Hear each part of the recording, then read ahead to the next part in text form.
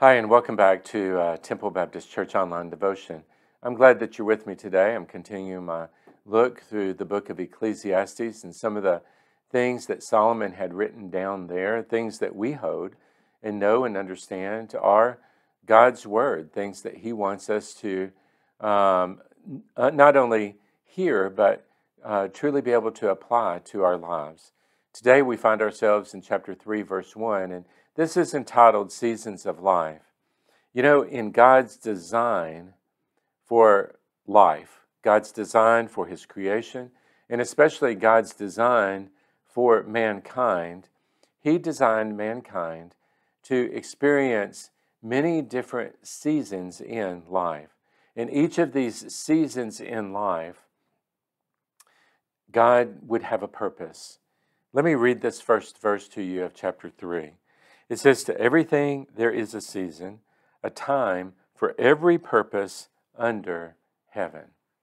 There is a group many years ago, I believe back in the 60s, that actually made a song out of this particular passage of Scripture. It was very, very popular um, amongst the younger um, folk rock crowd.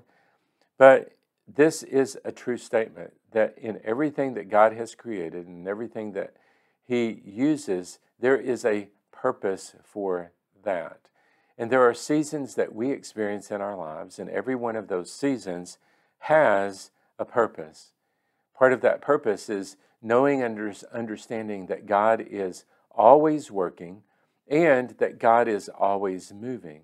And so, understanding that God is not stagnant, that He's not just sitting still, He hasn't just put things in motion and is standing back to see how things turn out, knowing that He is intimately involved in the life of every person who is His child, that is, everyone who has come to faith in Christ, but as well, He is intimately involved in the lives of all other men and women upon the face of the earth.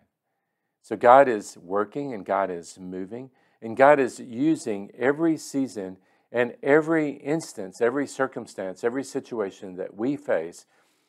God is using all of that that we have faced yesterday and the day before and the week before and the year before.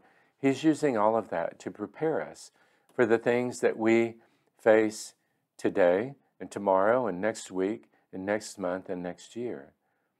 So God is preparing us through all of these seasons. And so everything has a purpose. We see in the Old Testament that there were many different purposes of God purposes that revolved around His love, purposes that revolved around His discipline, purposes that revolved around knowledge and obedience. We see those things in the New Testament as well. So these seasons are important, and everything that we experience is preparing us for what we need in the future.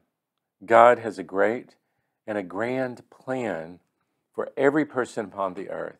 And without a doubt, God is sovereign over everything that you and I face. He is sovereign over every season of our life. In everything there is a season, a time for every purpose under heaven. You know, here at Temple Baptist Church, we'd love to help you grow in your faith.